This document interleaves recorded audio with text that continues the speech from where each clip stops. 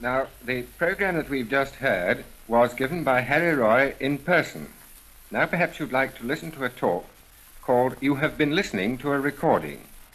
MJL Pulling, Superintendent Eng- Engineer of the BBC's recording service, concludes this series with a description of some of the engineering aspects of the work. Mr. Pulling. On the last three Saturdays, Linton Fletcher has been telling you something of the uses which are made of sound recording by the BBC.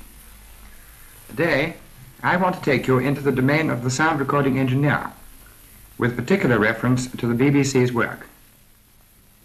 Now, let's start with something we all know, the gramophone record.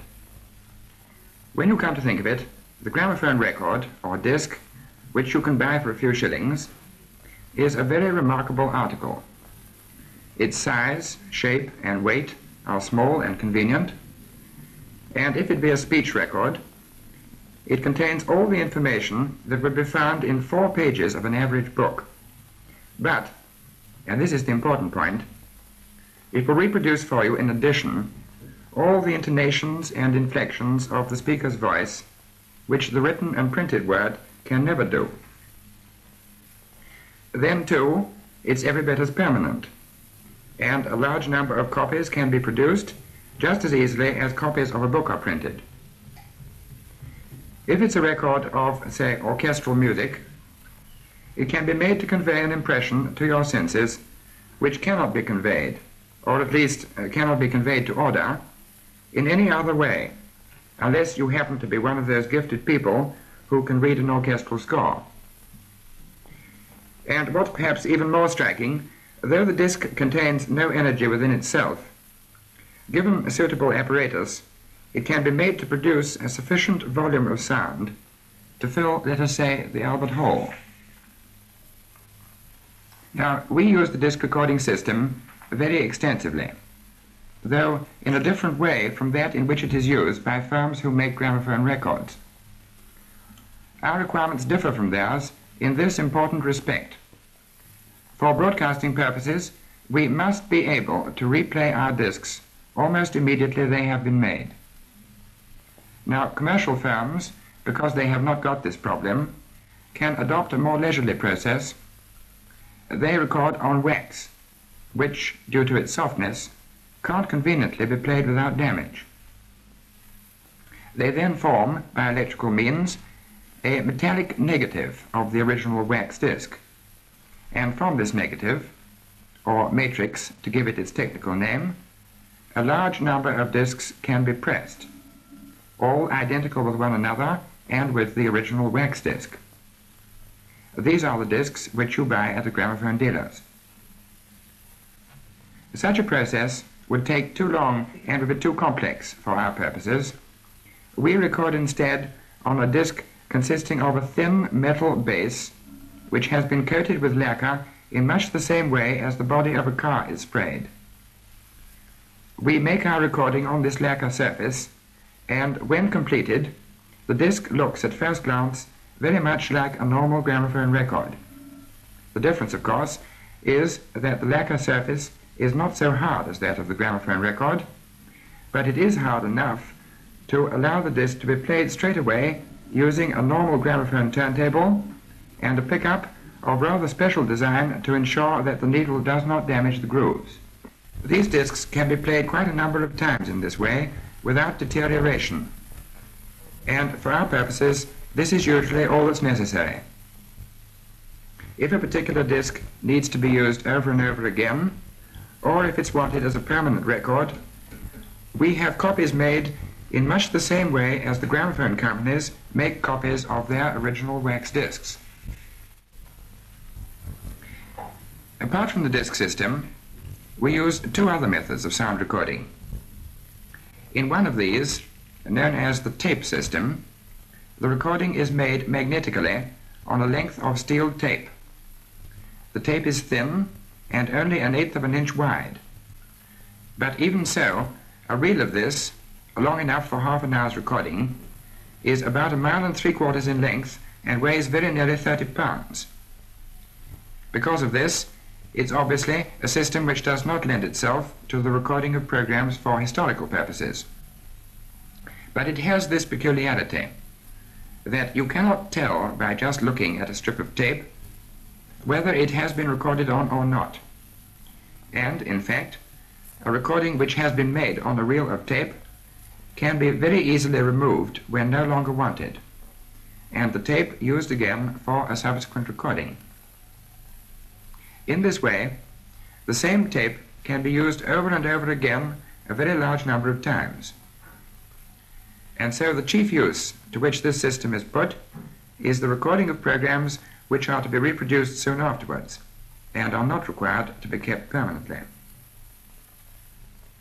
The third method is known as the film system, though the film used is not a photographic film. Rather like the tape, it's thin and narrow. The material of which it is made is transparent, but it has a very thin surface coating which makes it opaque.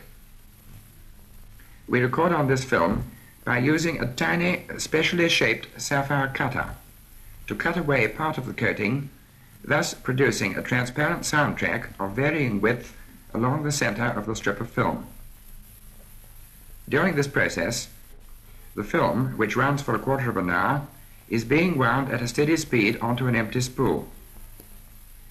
When the recording is finished, the film has only to be wound back onto its original spool and is then ready to be replayed without treatment of any kind. So much then for the apparatus. We are often asked, how is it, if a reel of film lasts for only a quarter of an hour, that you can record a program of half an hour, half an hour and more? The answer to this is simply that in a recording room, we always have two identical machines.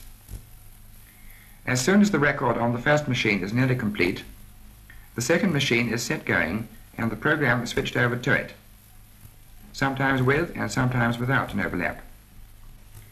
When we come to replay the recording, a similar arrangement is necessary, and, of course, precautions have to be taken to avoid a gap, or, equally bad, a repetition at the point of changeover.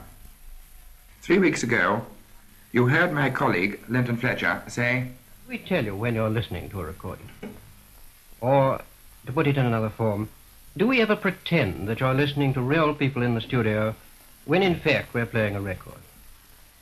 Now the answer to that is that we do tell you and that we do not pretend.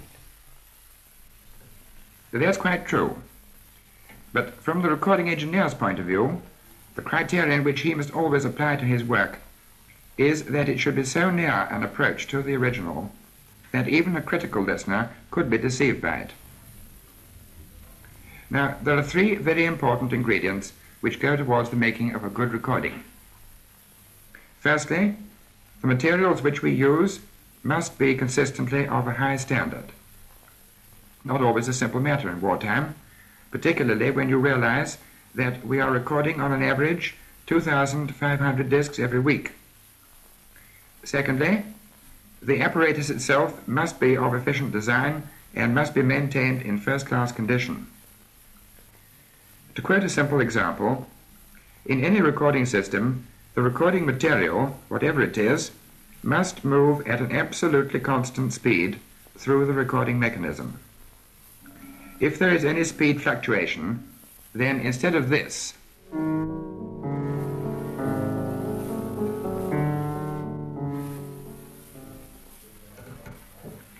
you will get this.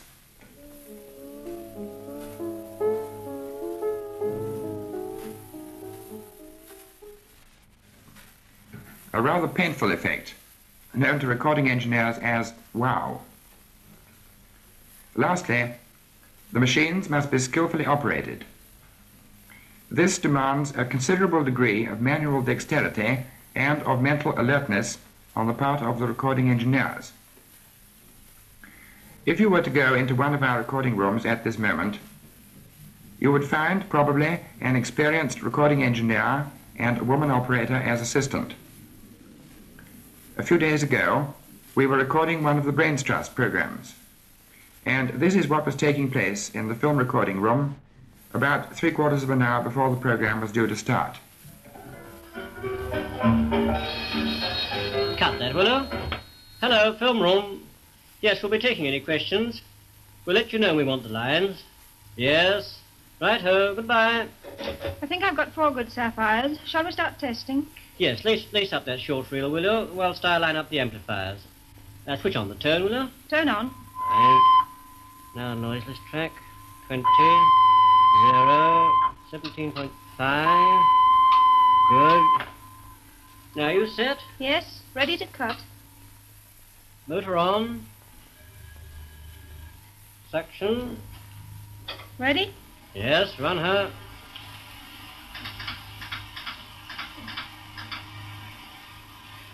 That's enough. Let's look at it. Set up the microscope. Hmm.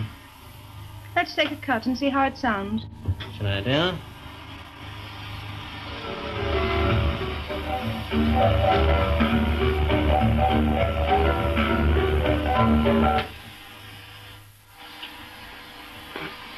Uh, run it back. We will listen to it without the blower.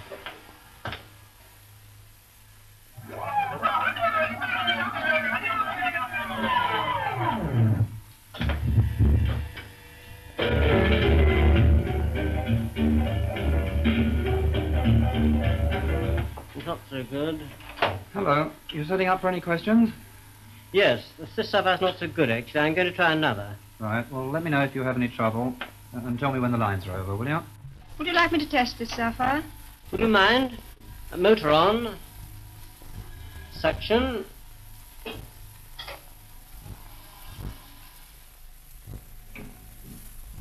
And so the preliminary testing period goes on. Now, returning to the recording room half an hour or so later, Sapphires, enough film. I wonder if you'd tell the SME we're getting the lines now. Okay.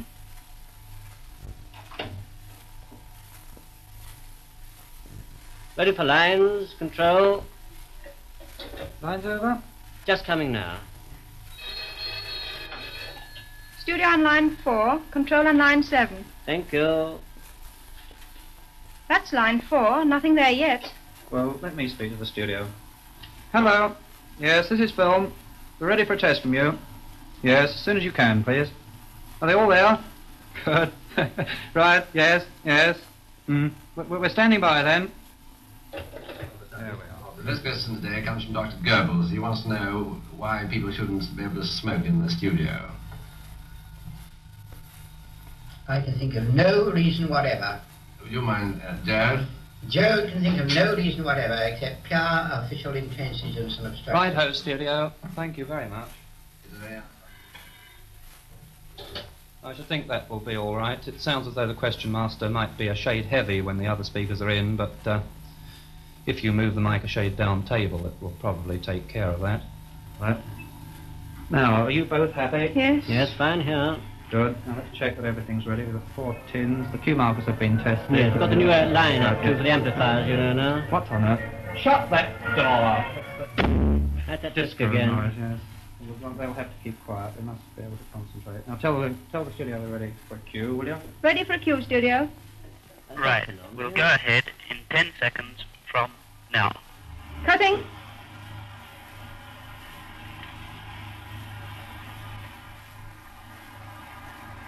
Sure it's a very great relief to all of us to read in the papers that it, it has now been officially laid down that the Brains Trust is neither a well, I hope that this brief talk may have given you a slight glimpse of the engineering aspects of our recording activities.